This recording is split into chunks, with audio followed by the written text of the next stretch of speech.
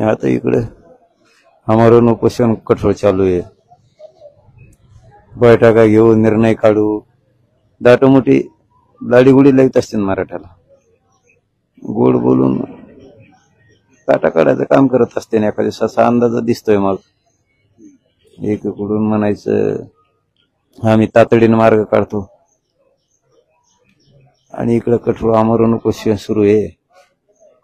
तातडीनं मार्ग काढू काढतो म्हणायचं पाच पाच दिवस होऊ द्यायचे.